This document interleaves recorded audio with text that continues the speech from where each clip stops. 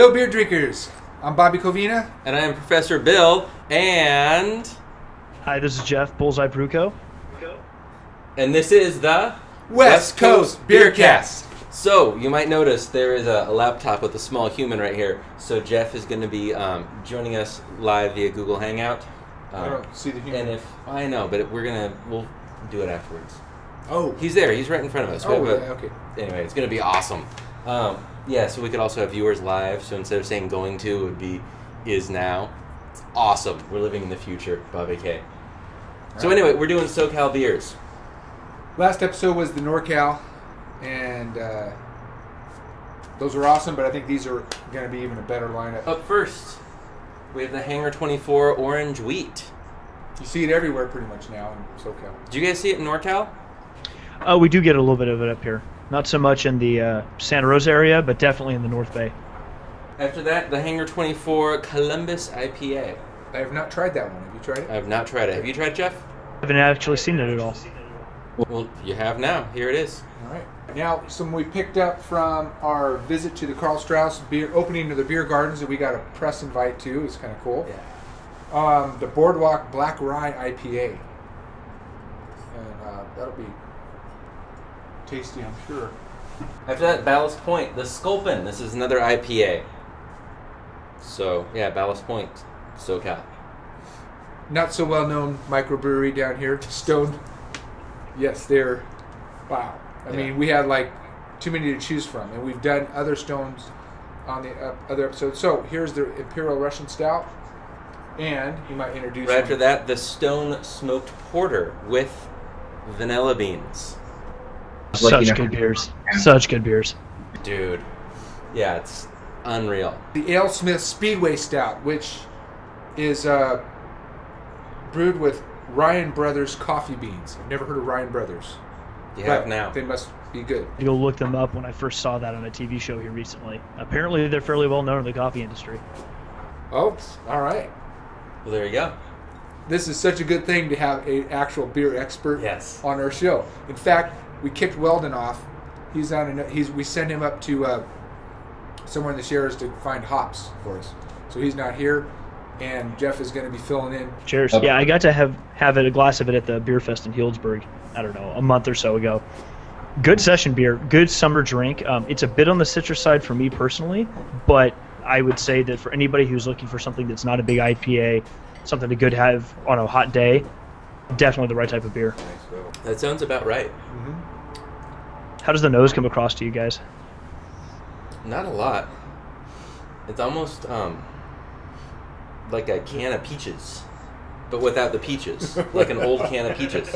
It has um, um, a little bit of that metallic, tiny bit. Yeah. A can of peaches, but without the peaches. When you're done with the Like the peaches, you like you Oh, smell the the, can. syrup, okay. Not even just just an empty can of peaches. Oh yeah, I'm, I'm getting that can, that little bit of Right, aluminum little bit, kind yeah. of thing.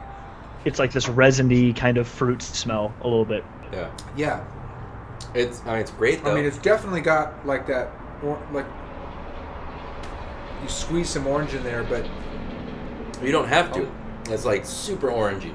yeah, you you would not need to add any orange. No. Okay, so, so- here's our Columbus IPA again, Hangar 24. Yeah, Whoa, that's an Mm. aggressive nose. yeah.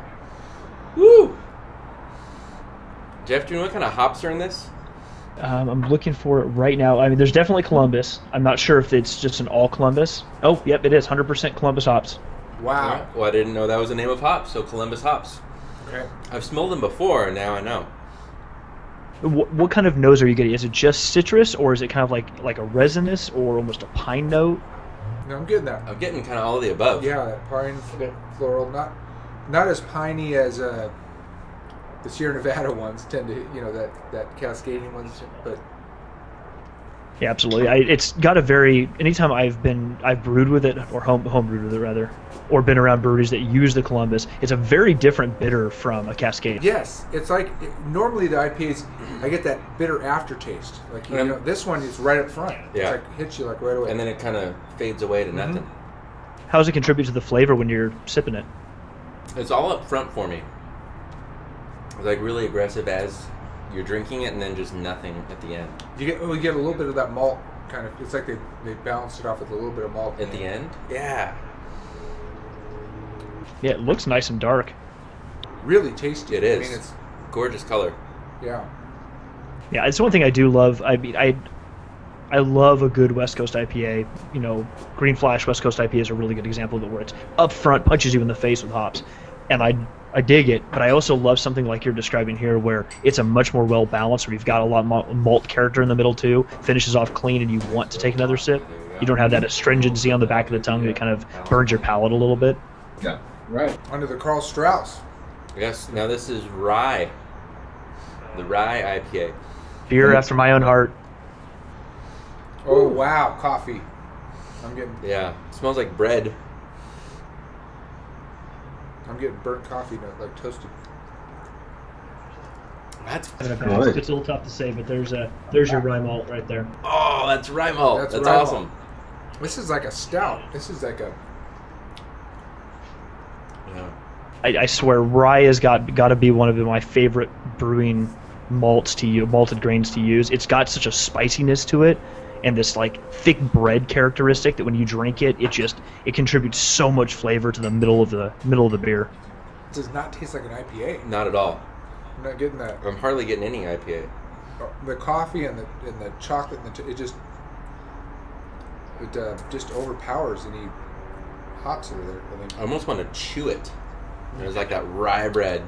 Rye is typically that I've seen typically used in lower quantities in the grain bill, maybe 10 to 20 percent of the total grain bill. Um, and there's one brewery up here that makes one that's around 45 percent of it, and it is just. They actually asked me at the bar, "Are you sure you know what you're drinking?" it super spicy. It just like sh- just seared your palate the moment you take a sip of it. It was- Wow. I loved it. This is a smooth drink. It is. It It is. really is. Awesome, Yeah. right on. Carlos Strauss is definitely for me one of those breweries that, personally, and I think just in general, just does not get enough traction marketing wise. People don't talk about it enough. You don't see it out there enough, and they make some stellar beers. For a long time, I thought Karl Strauss was just um, definitely national, kind of international, and they're not. They're only in California, right? It's crazy. They're really limited to uh, to SoCal in a lot of cases. I mean, we get some of it up here, but I don't see a ton of it anywhere. What's the percent on this, Jeff? Um, let's take a look here. I'm gonna guess around eight. Oh, nope, nine point five. Yeah, Nine point. it tastes like Yeah, I'm like whoa. Um, it doesn't taste as carbonated, especially right after that rye IPA, which is it's really sweet. Um, Yeah, I, and I think the last time we had this, we had it with the Kahlua soaked oak chips. It almost feels like that's missing, and it's. yeah. I mean, it's clearly not. That this is the usual beer, but it. On to Ballast Point. This is a Sculpin IPA. Woo! Also from San Diego. Yeah, San Diego. also known as San Diego. Super fruity. Super florally. Florally, huh? I like that. Mangoey, apricot floral. Yeah. What do we have in this, Jeff? What's in this one? It clocks in around seven percent, uh, right about seventy IBU too. So pretty hot, pretty hot. Um, they're not saying which hops they're using, but you guys described it. They're definitely pitching the uh, the apricot, peach, and mango and like lemon type flavors that come off the hops. I think if somebody tries this and they can't take it, it really means IPAs aren't for them. Because this Yeah. is like a friendly way to introduce to an IPA. Yeah. Yeah, it's a really good beer. I every time it's been on draft at the local tap, one of the local tap rooms here, it's gone within a day or so. Everyone comes in. Um, you know what? I think I'll just go with Sculpin. Now we're digressing a little bit to Stone. here. The Imperial Russian Stout. 10.5%, dude. Oh man. Woo! That's sweet. Love that Oh beer. Oh, my gosh. I can already tell this is good. Woo! Yeah. This is Imperial and Russian. So much yeast in that. Oh. Yeah. Compared to that Sculpin IPA, it's actually kind of, it's really sweet on, up front. Really sweet. This is like But mean, you can taste the 10.5%, for sure. and it's not it, i know maybe i picked up something new, different than you guys did the last time i had it but it's not nearly as drying as a lot of the stouts i've had where you have like the, the coffees and things like that where you just get kind of this weird drying effect on the palate as a result of it this one does not have that it goes down really easy Yeah. probably a little too easy Wow, this is sweet. It's Really, really sweet. sweet. The hop level in this is actually surprisingly high. I didn't realize it. It sits around 60 IBU. The smoked porter with vanilla bean. Yes, again by Buddy, Stone. Oh, Whoa, vanilla. Lots, Hello. lots of vanilla after the IRS. yes. you guys got to tell me how I I love the smoke beers. I love that kind of like charcoal band-aidy kind of flavor that comes across. How does that pair with the vanilla? Oh, I think it's perfect. I think it's absolutely surprisingly, you know, surprisingly, uh, it pairs well. I think. We're actually the Stone Brewery when they had this on cask, and they gave us the backstory of it. Where uh, I think they said the marketing director shucks vanilla beans for like three weeks in her office, and then they just pour the whole thing into the fermenter and just go for it. So it's like it's real vanilla, and they actually had some of those vanilla beans in the cask. So as they're pumping it, the vanilla's oh my gosh, by far the best beer I've ever had. That is that is some kind of commitment to a beer right there. AleSmith Speedway Stout. Oh my sweet jambalaya. Twelve percent. Oh, This Wow. wins that prize right here. That's a big boy. That's uh, that's some aggressive nose. Just lots of. Oh, yikes! That's, you can. You know what you it's can like? Smell the alcohol. It's just. It's like you forgot to clean out your So- coffee maker, and you know you take it out for guests, and you brew up like a big pot of it, and you put it away, but you forget to clean out the actual coffee grounds, and you take it out like three months later and smell it.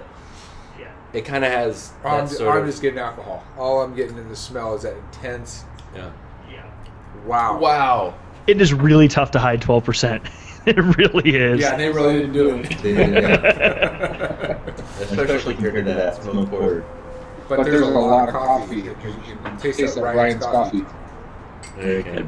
What temper? I, I, this is probably getting a little too geeky, but what temperature do you think it's uh, the bottle's sitting at right now, give or take? It's take? probably too cold. It's probably.